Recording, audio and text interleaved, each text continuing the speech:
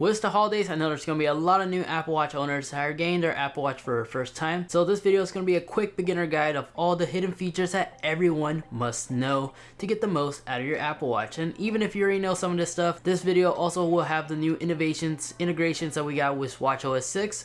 So continue watching because I'm pretty sure you're going to learn a thing or two. Like always, we're going to go ahead and do this as quickly as possible. So Let's start the timer and let's try to do this in 150 seconds or less. To bring up the notification tab or the control center, you don't have to be in the home page, you could be in an application it works perfectly fine. When pinning your iPhone from the control center, instead of tapping it for the sound, if you hold down on it, it will actually flash the LED. When water lock is enabled, it will actually forcefully eject all the liquid next to the speaker ports. Force touch on the Honeycomb app grid will actually allow you to switch to the list view instead. Having a hard time locating a certain app, you can simply ask Siri to launch it. When starting the workout countdown, if you tap on it, it bypasses it.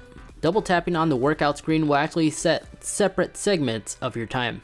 When you press both the crown and the side button, it will actually pause your workout and resume back when you repress it. If you wake up your screen, if you double tap the crown, it will actually take you to the previous open app. App Switcher can be launched by tapping the power button. Swipe left to clear some of these background apps. To forcefully shut down an application that's acting funny, hold down the power button, then press and hold the crown button and now that application is forced shut. You can dismiss alarms by simply swiping them down or covering them up with your palm. If you find yourself all the way at the bottom, if you tap the top on any application, it'll take you all the way on top. On nightstand mode, if you tap the charging icon, it will actually show you the percentage. In the notification tab, if you force touch, you could clear all your notifications. For both airplane mode or do not disturb mode, if you go on your iOS device in the Apple Watch application, on do not disturb mode, you can actually disable it so it doesn't mirror your phone. This way, when either of these are enabled, your phone doesn't get set to those modes. When receiving a bunch of notifications, if you actually put your palm on your screen and hold it there for another 3 seconds, your watch will automatically be set to silent mode.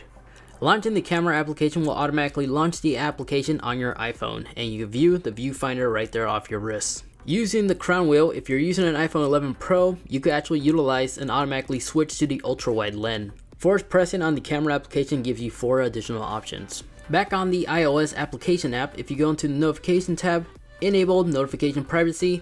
Now when a notification comes in, you have to tap on it to view the rest. Rearranging applications is less frustrating whenever you rearrange it using the app layout. Tired of the breathe application always bugging you? In the breathing tab right here, you can actually turn it off permanently. Still here on this page, if you go into the clock tab, you can enable chimes. Now on the hour, the selected sound will play. Think of this like a grandfather clock. Underneath that, if you tap the speak time, when you rest two fingers on the watch face, it will actually tell you out loud the time that it is. 11.22 a.m.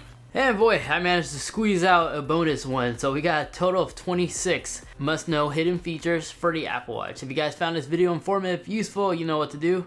Greatly appreciate if you guys actually leave this video a like. But not only that, also go ahead and check out other videos like this one, for example, as I pretty much go more in depth on some of these tips and tricks. And then this video over here, that is a video that YouTube is recommending specifically for you.